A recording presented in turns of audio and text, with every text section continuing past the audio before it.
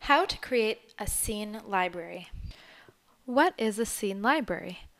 A scene library is a collection of scenes that have something in common. A scene is the basic building block for creating a video. Each video includes one or more scenes which are configured in a storyboard. Idomoo technology. Scenes get generated into IDM files from After Effects using Idomoo's Launchpad, are then uploaded into scene libraries and used later in storyboards. Start off by creating a new scene library by clicking on Scene Library under the yellow X. I'm going to create a scene library for a glasses promotion, so I'll call my scene library Glasses Promotion.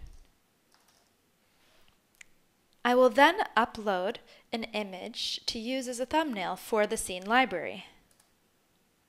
I click Upload Image and I look for my thumbnail.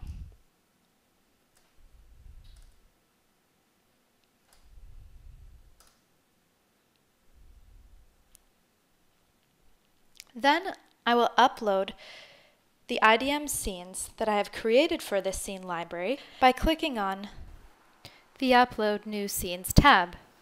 I click Upload and locate my IDM scenes.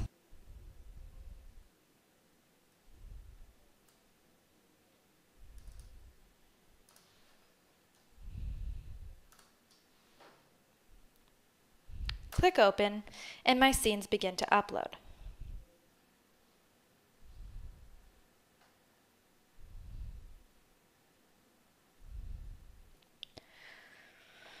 Once my scenes have finished uploading, we can upload library assets to the account. I click on Library Assets. Library assets are various media files that range from audio, like music, sound effects, or narration, images, or video that I want to include in my scenes. For the glasses promotion scenes, I will upload some narration, like a hello names folder to say hello to my clients, and an images folder so that I can add images to my scenes. First, I will create the folders and then I will upload the files. I click New Folder and call the folder Hello Names. I'd like to create another folder called Images. To upload files into these folders, I double click on the folder.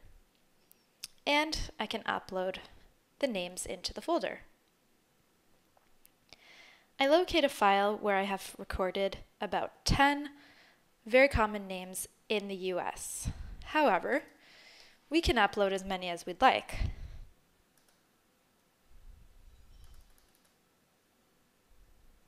Let's use this for an example. I open these names and the names begin to upload into this folder. When they're done, I can double click on the media library and get back to my folders. I'll then click on images and upload some images to this folder.